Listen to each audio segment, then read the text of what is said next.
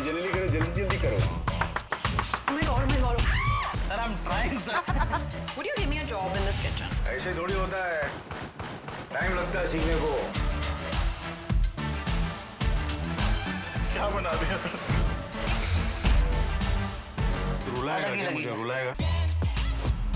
Star versus Food premieres 12th July on the Asian Food Network. Wujudkan bersama ini